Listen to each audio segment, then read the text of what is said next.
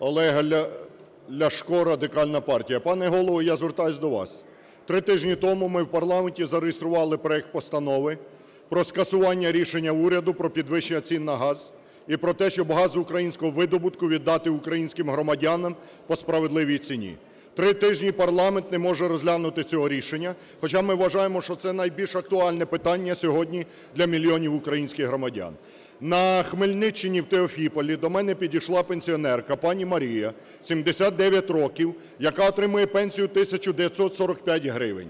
І їй досі не надали субсидії, мотивуючи тим, що в цієї жінки вдома прописаний син, який разом з нею не проживає. І умова надання субсидії цій 80-літній бабусі, пенсіонерці, полягає у тому, щоб виписала рідну дитину з хати. При цьому не питають, чи є куди виписати ту дитину.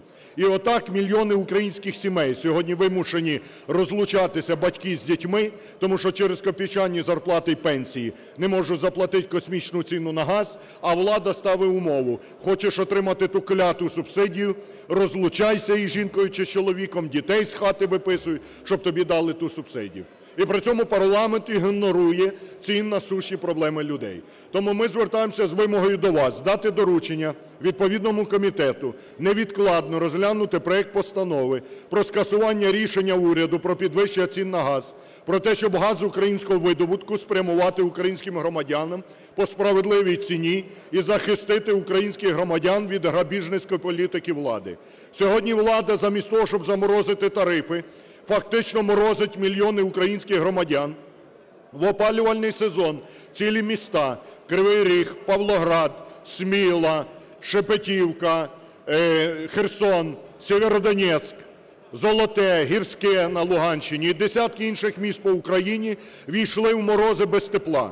"Нафтогаз" не дав мільйонам українців тепла з однієї причини, що вони винні гроші. Загальна сума заборгованості за газ цих міст менша, ніж сума премії, яку собі виписали керівники "Нафтогазу" і вивели на офшорні рахунки. Той мамі в Америку, той жінці в Ліхтенштейн, той ще кудись. І антикорупційні так звані органи нічого не бачать, щоб зупинити цю корупцію і знущання над українцями. Коли влада залазить в кишені до кожного українця, до кожного пенсіонера, лікаря, вчителя, робітника і витягують останні гроші для того, щоб "Нафтогаз" платив собі космічні зарплати і премії.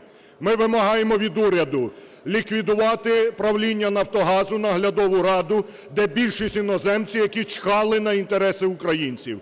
Ми вимагаємо від влади скасувати рішення про виплату космічних премій для "Нафтогазу" і повернути їх в Україну з офшорних рахунків. Ми вимагаємо від влади скасувати рішення про підвищення цін на газ. Досить принижувати людей і грабувати їх. Дякую. Зараз виступи